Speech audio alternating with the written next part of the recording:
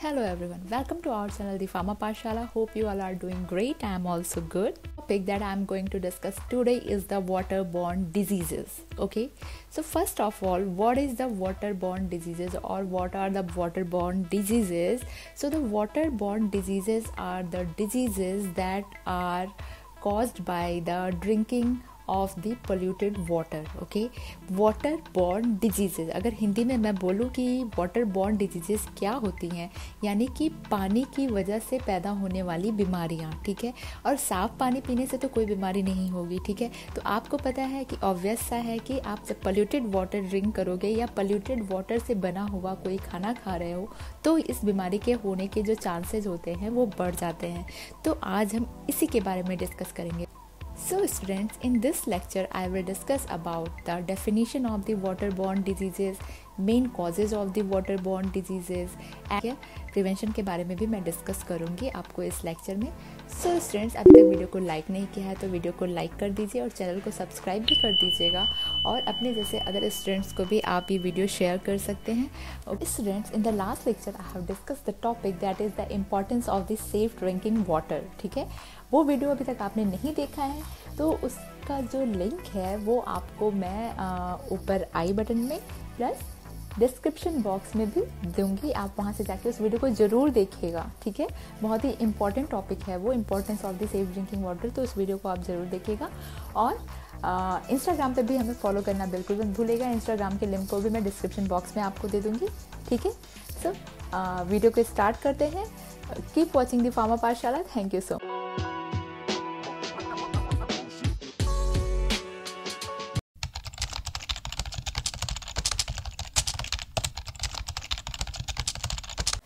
today's topic is the water borne disease ठीक है? आज ये टॉपिक डिस्कस करूँगी मैं वाटर बॉर्न डिज़ीज़ क्या होती हैं, ये कैसे फैलती हैं और इसके अंदर कौन कौन सी डिज़ीज़ आती हैं, इसके बारे में हम डिस्कस करेंगे स्टूडेंट्स तो वाटर बॉर्न डिज़ीज़ का की डेफिनेशन क्या होती है? The disease that spread because of drinking polluted water और eating food prepared with the polluted water are called water borne diseases, यानी वाटर बॉर्न डिजीजेज, यानी पानी से पैदा होने वाली बीमारियाँ, ठीक है? सिंपल वर्ड में अगर हम कहें तो पानी से पैदा होने वाली बीमारियाँ। तो नॉर्मल अगर सेफ़ ड्रिंकिंग वाटर है तो उससे तो कोई बीमारी नहीं होगी, ठीक है? तो यहाँ पे ऑब्वियस है कि जो भी वाटर होगा, वो क्या होगा? पल्यूटेड वाटर होगा, ठीक है? यानी कि पल्यूटेड वाटर यानी कंटामिनेटेड वाटर से पैदा होने वाली बीमारियाँ कौन कौन सी होती हैं? तो अगर हम वाटर बॉर्न डिज़ीज़ की डेफिनेशन देखें तो वाटर बॉर्न डिज़ीज़ वो डिज़ीज़ होती हैं जो कि polluted drinking water polluted water को पीने से हो सकती हैं या फिर पल्यूटेड वाटर से बने किसी खाने को खाने से वो डिज़ीज़ हो सकती है, ठीक है? तो वाटर बॉर्न डिजीजेज वो डिजीजेज होती हैं जो कि पोल्यूटेड वाटर को पीने से या फिर पोल्यूटेड वाटर से बने किसी खाने को खाने से हो जाती हैं, ठीक है? तो इनके एग्ज़ाम्पल है, आपका है कॉलरा हेपेटाइटिस टाइफाइड एक्सेट्रा और भी सारी बीमारियाँ आती हैं इसके अंदर okay so the next point is the main causes main causes of the waterborne diseases okay so the if uh, we are discussing the main causes so the main cause is the water pollution ठीक है वो water pollution किसी भी reason से हो सकता है like pathogenic microorganism ठीक है पैथोजेनिक माइक्रो ऑर्गेनिज्म का मतलब है कि disease causing micro organism like कि जो भी पानी पी रहे हैं या फिर जो भी खाना खा रहे हैं जिसके अंदर जो कि जो कि खाना ऐसे पानी से बना हुआ है जिसके अंदर वायरस बैक्टीरिया या प्रोटोजोआ प्रेजेंट है, यानी कि वो क्या कर रहे हैं कि वाटर बॉर्न डिजीजेस को वहाँ पे क्रिएट कर रहे हैं, ठीक है? तो first main cause is the pathogenic micro organism second is the toxins toxins का मतलब बताया था मैंने वाटर पोल्यूशन में कि बहुत सारे ऐसे एलिमेंट्स या मटेरियल्स होते हैं जो इंडस्ट्री से निकलते हैं और पानी में मिल जाते हैं, जाके रिवर या सीज या ओशंस में तो लाइक आर्सेनिक एंड मरकरी ठीक है? Next is a lack of proper sanitation sanitation means क्या होता है स्टूडेंट्स से क्लीनलीनेस ठीक है? क्लीनली नेस यानी कि जहाँ पे प्रॉपर अच्छी सफ़ाई नहीं होती है, ठीक है? वहाँ पे क्या होता है कि वाटर बॉर्न डिजीजेस पैदा होने के चांसेस होते हैं। Next is the livestock waste livestock का मतलब लाइव स्टॉक वेस्ट का मतलब क्या होता है? एनिमल वेस्ट ठीक है? एनिमल वेस्ट, यानी कि एनिमल के थ्रू। यानी कि बहुत सारी ऐसी इंडस्ट्रीज़ हैं लाइक एनिमल इंडस्ट्रीज़ हैं, जहाँ पे मीट, एग, ठीक है, ये सारी चीज़ें वहाँ पे बन रही हैं। तो वहाँ से जो वेस्ट निकल रहा है, वो पानी में जाके मिल रहा है। तो वो क्या कर रहा है? डिज़ीज़ कॉज कर रहा है, ठीक है? Livestock waste when reaches to the water bodies ठीक है? जब ये जहाँ, यहाँ से जाके इंडस्ट्री से निकल के ये वेस्ट प्रोडक्ट्स जाके क्या हो रहे हैं? वाटर बॉडीज़ यानी कि रिवर ठीक है? लेक्स ओशियंस इन सब में जाके मिल रहे हैं ठीक है? और वही पानी फिर क्या हो रहा है वो पोल्यूटेड वाटर किसी तरह किसी ना किसी तरह से आ, कोई ड्रिंक कर ले रहा है या उससे खाना बन जा रहा है तो वो क्या कर रहा है वाटर बॉर्न डिज़ीज़ पैदा कर रहा है। And last one is the poor hygiene poor hygiene का मतलब यहाँ पे है कि बहुत ही बेकार जो होती है अपनी पर्सनल जो हाइजीन की सफ़ा साफ़ सफ़ाई होती है ठीक है वो अच्छी नहीं है यहाँ पे। तो ये सारे आपके मेन कॉजेज़ हैं वाटर बॉर्न डिज़ीज़ होने के।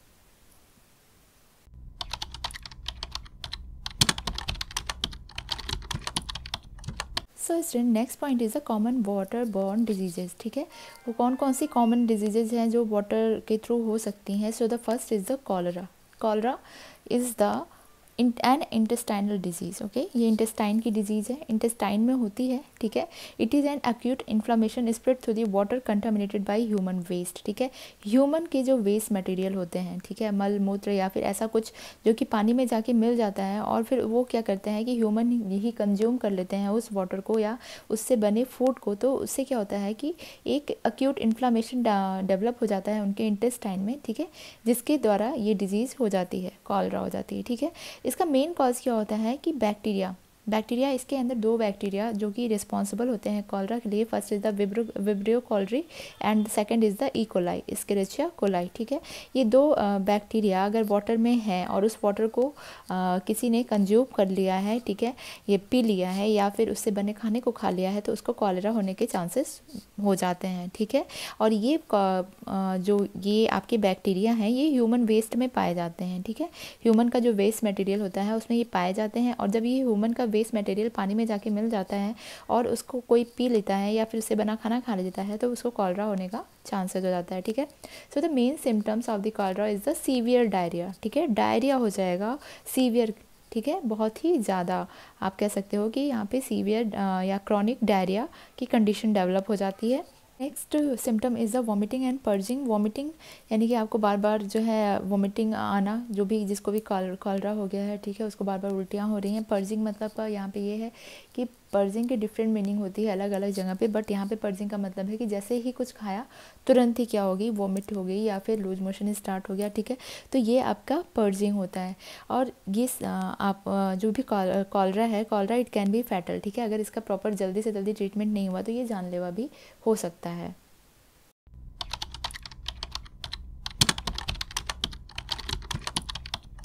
So uh, students, the next waterborne disease is the dysentery. Okay, it is also an intestinal disease. ठीक है intestine की disease होती है ये and this infection is transmitted by fecal contamination of water or food by insisted micro organisms okay insisted micro organisms का मतलब यह है कि कोई भी ऐसा माइक्रो ऑर्गेनिज्म जो अपने आप को किसी कैप्सूल के अंदर रख रहा है, ठीक है? इसीलिए उसको क्या कह रहे हैं? इंसिस्टेड माइक्रो ऑर्गेनिजम्स कहते हैं, ठीक है? तो किसी भी इंसिस्टेड माइक्रो ऑर्गेनिज्म उनका जो फीकल वेस्ट होता है, यानी कि जो, कि वो, उनका स्टूल या उन, उनकी जो यूरिन होती है, ठीक है, उसके थ्रू वो अगर किसी वाटर में या फ़ूड में मिल जाते हैं तो क्या होता है कि डिसेंट्री होने के चांसेस होते हैं या डिसेंट्री हो सकती है, ठीक है? तो इसके मेन कॉजेज़ क्या होते हैं? बैक्टीरिया और पैरासाइट्स जैसे कि यहाँ पर डिसेंट्री का आपको पता है एंट अमीबा हिस्टोलिटिका ठीक है? एक अमीबा की तरह अमीबा आप जानते होंगे, ठीक है? एंट अमीबा हिस्टोलिटिका से मेनली क्या होती है? डिसेंट्री होती है, ठीक है? So the main symptoms of dysentery is the mild to severe abdominal cramp ठीक है? मतलब कम से लेके ज़्यादा तक, यानी हल्के से लेके बहुत ज़्यादा तक क्या हो सकता है यहाँ पे पेट में? दर्द हो सकता है, ठीक है? एब्डोमिनल क्रैम्प हो सकता है डायरिया हो सकता है, ठीक है? सीवियर डायरिया हो सकता है होता ही है, अगर डिसेंट्री है तो सीवियर डायरा डायरिया होगा एब्डोमिनल क्रैम्प होगा और समटाइम्स क्या होता है स्टूल्स विथ म्यूकस और समटाइम्स ब्लड ठीक है? जो भी स्टूल स्टूल का मतलब यहाँ पे आपको पता है स्टूल मीन्स पॉटी आप कह सकते हो फीकल वेस्ट जो होता है, ठीक है? स्टूल्स क्या होते हैं यहाँ पे? म्यूकस स्टूल्स में क्या होता है? म्यूकस आना स्टार्ट हो जाता है या फिर कभी कभी क्या होता है? ब्लड आता है, ठीक है? तो ये सीवियर केस हो जाता है डिसेंट्री का जब स्टूल में म्यूकस या ब्लड आने लगता है, ठीक है? ये था आपका second water borne disease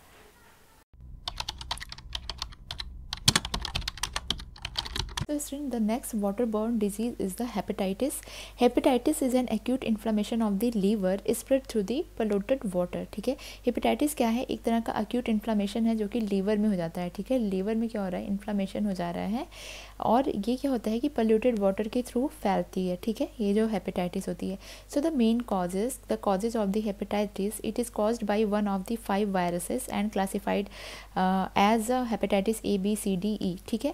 आपको पता है हेपेटाइटिस के जो वायरस होते हैं hepatitis A hepatitis B hepatitis C D and E इतने टाइप के पाँच तरह के हेपेटाइटिस के वायरस होते हैं ठीक है? इनमें से किसी भी uh, एक वायरस के थ्रू क्या होती है कि ये डिज़ीज़ हो सकती है। बट जो ए एंड ई वायरस है, ठीक है hepatitis A and hepatitis B ये जो मेन क्या होते हैं कि वाटर के कंटामिनेशन से ट्रांसमिट होते हैं, ठीक है? वाटर के कंटामिनेशन से जो मेन हेपेटाइटिस के वायरस ट्रांसफ़र होते हैं, वो हैं A and E okay A and E can be transmitted by contaminated water okay and the symptoms इसके सिम्टम्स क्या होते हैं? हेपेटाइटिस के डिफरेंट टाइप्स में have a different symptoms but weakness and fatigue are the common symptoms वैसे तो जितने भी टाइप हैं, सबके अलग अलग सिम्टम्स होते हैं बट जो है एक कॉमन सिम्टम क्या है इनका?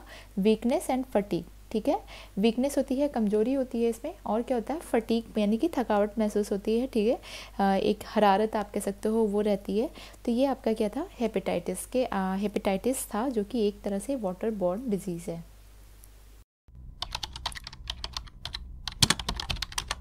The next waterborne disease is the typhoid. Typhoid is the dangerous intestinal disease.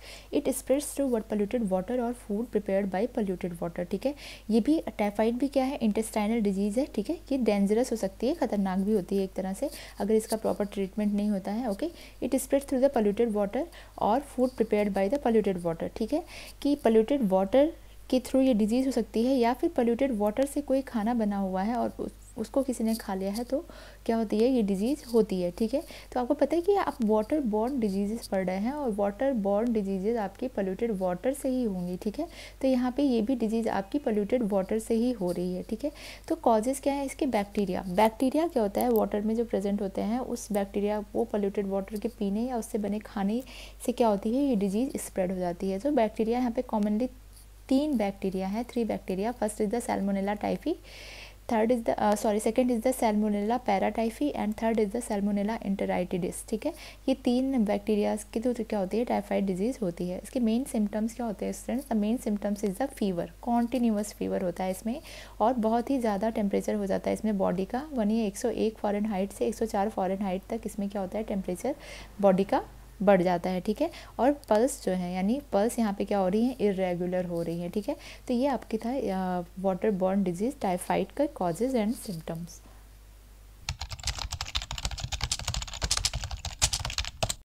the next waterborne disease is the jaundice jaundice is a liver infectious disease ठीक है? लीवर में इन्फेक्शन होने की वजह से ये डिज़ीज़ होती है, जिसमें क्या होता है कि लीवर का जो फ़ंक्शन होता है, वो ऑब्स्ट्रक्ट हो जाता है, ठीक है? It is a liver infectious disease proceeds from the obstruction of the liver function liver के फ़ंक्शन में क्या होती है? रुकावट हो जाती है। ये इन्फेक्शस डिज़ीज़ होती है लीवर की, जिसमें क्या होता है कि बाइल बाइल जो पिगमेंट है, इसका जो है प्रोडक्शन क्या होता है? लीवर में बहुत ज़्यादा होने लगता है और फिर ये क्या करता है? लीवर से ब्लड में एंटर हो जाता है, ठीक है? तो जॉन्डिस जॉन्डिस में क्या होता है कि मेन कॉजेज क्या होते हैं जॉन्डिस के? Excess pigmentation of the bile ठीक है? Bilirubin bile is the bilirubin in the blood ठीक है? पहले तो बाइल जो है लीवर में बनता है, ठीक है? और इतना ज़्यादा प्रोडक्शन होता है इसका कि ये लीवर से फिर ब्लड में एंटर करने लगता है, ठीक है? तो इसके मेन सिम्टम्स क्या होते हैं? आपको पता है कि जब बाइल का कलर येलो होता है, ठीक है? तो जब ये आपके लीवर से फिर क्या होता है कि बाइल आपको पता है डाइजेशन में भी काम करता है लीवर में में सिक्रीट होता है ये। पर यहाँ पे जब ये ब्लड में इसका अमाउंट ज़्यादा होने लगता है तो yellowness of the skin eyes and nails ठीक है? स्किन आइज़ और नेल्स का कलर क्या होता है इसमें? येलो हो जाता है और वीकनेस एंड फटिक इसके जो क्या होते हैं मेन सिम्टम्स हो जाते हैं, ठीक है? तो ये आपकी नेक्स्ट यानी फिफ्थ वाटर बॉर्न डिज़ीज़ है। So next waterborne disease is the cryptosporidiosis okay it is a gastrointestinal illness caused by the tiny uh, pathogens found in the surface of water sources like the reservoir reservoir lakes और rivers ठीक है ये एक gastro intestinal disease है ठीक है crypto स्पोरिडियोसिस okay थोड़ा सा प्रोनाउंसिएशन में ऊपर नीचे हो रहा है, ठीक है, आप पढ़ लीजिएगा इसे। क्रिप्टोस्पोरियोडियोसिस जो है, ये एक गैस्ट्रो इंटेस्टाइनल इलनेस है, ठीक है, जो कि टाइनी पैथोजेंस के थ्रू होती है। वो पैथोजेंस जो कि वाटर के सरफेस पे पाए जाते हैं। जैसे कि कहीं पे आपने कहीं टैंक में वाटर रखा है, स्थिर जो पानी होता है, ठीक है, जहाँ पे ज़्यादा बहाव नहीं होता है, वहाँ पर क्या होती है कि ये कुछ एक प्रोटोजोआ होता है जो पाया जाता है वाटर के सरफेस पे, ठीक है? तो उस वाटर को जब कोई इंजेस्ट कर लेता है तो उसको क्या होती है? क्रिप्टोस्पोरिडियोसिस होने के चांसेस हो जाते हैं, ठीक है? उसके इसका मेन कॉज क्या होता है? कॉज इसका मेन है, वो है प्रोटोजोआ प्रोटोजोआ कौन सा है? क्रिप्टोस्पोरिडियम ठीक है? इसी से इसका नाम पड़ा है क्रिप्टोस्पोरिडियोसिस ओ, मैंने सही प्रोनाउंसिएशन किया, ठीक है?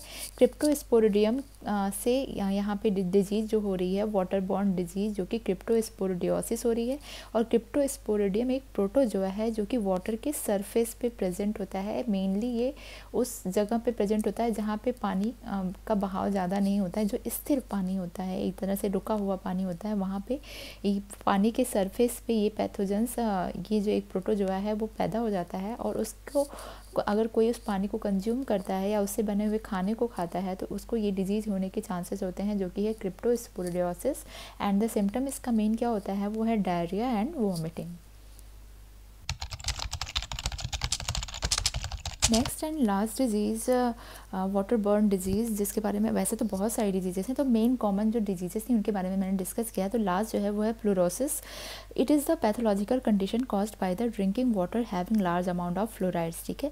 जो पानी, जो पीने वाला पानी होता है, उसमें अगर फ्लोराइड तो एक नॉर्मल कंटेंट होता है वाटर का, लेकिन अगर इसका अमाउंट एक जो आपके एवरेज अमाउंट है, उससे ज़्यादा हो जाता है तो ये डिज़ीज़ कॉज होती है, जिसको फ्लोरोसिस कहते हैं. और ये क्या होती है, इसका मेन कॉज होता है कि जब हम ऐसा ऐसा पानी पीते हैं, बहुत ज़्यादा कंजप्शन करते हैं, ऐसे पानी का जिसका, जिसके अंदर फ्लोराइड्स की मात्रा जो है वो बहुत ज़्यादा है, ठीक है? इसका मेन सिम्टम्स क्या होता है? फ्लोरोसिस का वो है बोन डैमेज या टूथ डैमेज ठीक है? इससे फ्लोराइड का कंसनट्रेशन वाटर में ज़्यादा होने की वजह से और फिर जब उसको हम कंज्यूम करते हैं तो हमारी बॉडी में क्या होता है कि फ्लोराइड का जो कंसनट्रेशन है या उसकी जो क्वान्टिटी है वो ज़्यादा हो जाती है तो जिसकी वजह से bone damage and tooth damage होने के भी चांसेस हो जाते हैं।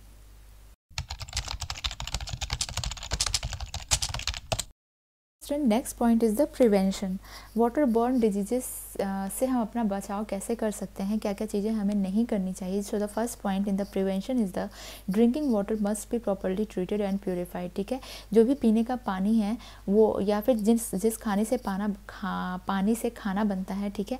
वो पानी यानी कि वो वाटर क्या होना चाहिए? Must be properly treated treated water होना चाहिए और प्योरीफाइड वाटर होना चाहिए, ठीक है? जैसे कि आपको पता है कि आजकल आर ओ एंड फ़िल्टर जो लगे हुए हैं, ऐसे पानी का यूज़ करना चाहिए ठीक है and second is the any type of waste must not be thrown directly in the water supplies किसी भी तरह का अगर कोई भी वेस्ट हो उसको डायरेक्टली आप किसी भी वाटर बॉडीज़ के अंदर नहीं फेंकिए ठीक है बिल्कुल भी नहीं फेंकना चाहिए ऐसे वेस्ट को पानी के अंदर वाटर बॉडीज़ के अंदर रिवर के अंदर ओशन सी लेक्स किसी में भी आपको क्या करना है कि किसी भी तरह के वेस्ट को नहीं फेंकना चाहिए ठीक है and third is the there must be strict control over the use of pesticides insecticides and other chemicals ये भी जो भी फ़ार्मिंग में यूज़ होते हैं, ये सारे केमिकल्स पेस्टिसाइड्स इंसेक्टिसाइड्स ठीक है, जो खाद खाद जो आप कहते हैं यूज़ करते हैं, जो कीटाणुनाशक यूज़ करते हैं, ठीक है।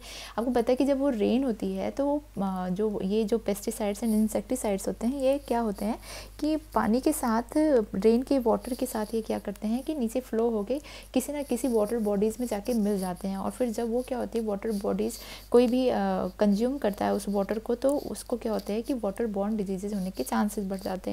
और ये क्या होते हैं कि एक तरह से जो ओशियन मराइन जो लाइफ होती है पानी के अंदर की जो लाइफ होती है जहाँ पे बहुत सारे एनिमल्स होते हैं उनके लिए भी क्या होते हैं ये हार्मफुल होते हैं ठीक है?